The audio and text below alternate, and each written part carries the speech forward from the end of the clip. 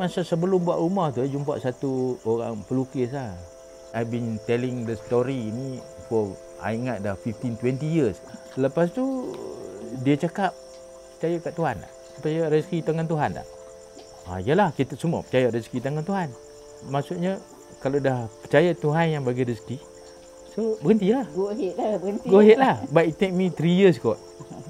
My first journey buat rumah ni pun, macam I nak rasa nak macam eh aku ni gila ke you know macam bila kita buat kita ish betul ke aku buat ni kan First batch dekat Dungun. ITM Dungun. Jadi ha, itulah jumpa kat Dungun lah tapi tak bukan sama grup. kita ada drawing board Ha. dia duduk kat tepi pantai tu Melantaikan melukis tanah dan berbumbungkan langit lagi. it was it was the best tak ada tak ada building. Tapi Dungun was very Raw, raw lah masa tu, yes. dia very raw masa tu Bila pagi-pagi kita pergi studio tu, ah kita keluar daripada asrama tu, ah, jumpa dengan lecturer bawah pokok. tek lembu ada based from nature lah drawing rumah kampung so suasana tu memang Get the best lah. Ah, because memory tu anybody yang masuk ke Dungun tu dia orang tak boleh lupa lah kan. Bila macam Langkawi ni ah close to that that kind of apa environment lah. Kita ada the best moment dalam hidup kita tapi bila kita dah you know go through life the end of the day kita nak cari balik kan macam suasana kampung kan. The idea is to to share to share lah to share with friends tak salah macam kita macam pendidik kan walaupun kadang-kadang macam benda tu kita miss tapi you know slowly it will come back Kita tak plan sebenarnya kan. Ah, dia tak ada- Dia tak plan. yalah benda ni kan, ah macam benda ni pun ah, kita buat ah, yang uncle buat kan.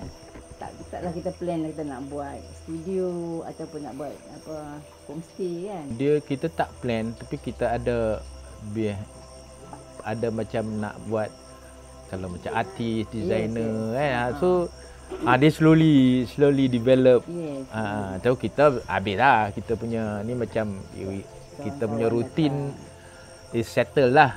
Bila kita ada keinginan tu kadang-kadang seolah kita berdoa lah kan. Dia macam ni. So dia datang. So bila dia datang tu kadang-kadang oh, kita pun macam kadang ada benda yang kita tak ready tapi bila dia bagi tu kadang-kadang Hmm. nak kena bersyukur tiap-tiap tiap-tiap kali lah kan. That's the best part lah eh. That's the Bila kawan-kawan datang kan. Dia datang pun kena uh eh macam ha, kawan yang puluh tahun tak jumpa pun tiba-tiba Langkawi dia datang sini. Bila dah ada Peluang. peluang tu mimpi ni tu saya cerita lah angan-angan tu dah berpuluh tahun I memang ada ada dream nak buat tempat actually the idea based from wakaf so the idea of wakaf is place where you lepak kalau kat Terengganu orang you know santai kan and then I punya favourite tengok tangki air Hai, dekat RNR kan ada tangki yang tinggi kan. So cakap, ish, boleh boleh build macam tu. Tu I suka duduk kampung. Langkawi Ah, ni dia punya orang-orang kampung dia baik senyuman dia. Kadang-kadang tengok muka serius tapi bila jumpa dia mesti salam, bagi Hmm. salam. Lepas tu bila kita makan ada orang belanja. Dan kita tak tahu siapa yang Kita tak belanja. tahu belanja. Oh. Satu lagi dia punya alam semula jadi dia. Macam macam kata sini macam ah, rumah ni pun dia punya konsep senses. The real sense lah kan. Five senses, the sound side. So I gunakan that concept to build this place. Ni ah the moment tu macam ada sound, tak ada dinding ribut. I ingat dalam macam pukul 2 pagi tiba-tiba hujan. Dia punya hujan bunyi dekat sini dia punya datang dari atas tu macam ayah kata macam dunia nak kiamat. Dia angin dulu lepas tu bunyi hujan atas pokok tu kan. Cakap Allah lepas tu dia dia zoom sekali. Dia macam wah kita macam dia fear tu ada. Tapi fear ni pun dia bukan kita tidur dalam rumah jadi selesa ah. dia dia bila hujan nak kita jaga. Bila bunyi kita ni. Jadi dia dia bagi kita macam hidup tau. Kalau tidak kita mati lah. Selalu malam dah tidur dah. Tak ada peduli apa kan. Tapi bila kat sini ah dia punya you know you really can feel the the the the nature. Kalau musim hujan katak tu dia macam orchestra of katak. Tengok apa burung terbang kan. Ha, tapi bila kita sempat kadang-kadang kita tak sempat. So bila sempat tu that the moment yang yang yang yang bagi indah tu. Kan? Sambil-sambil tu. Hidup lah kan. Dia, dia, dia kehidupan lah. Hidup ni bukan kata dia macam-macam pancaroba tapi simple-simple ni tapi kalau kita tak nampak then kita tak nampak. Reaksi orang yang datang tu macam-macam. You know dia dia dia dia come up with ideas. Tapi I satu satu I nak bagi tahu um, be careful with what You wish. you wish. I dulu bila buat tower ni I want to create macam a landmark. Kan? So bila jadi bila bila itu macam that, that ego tu that.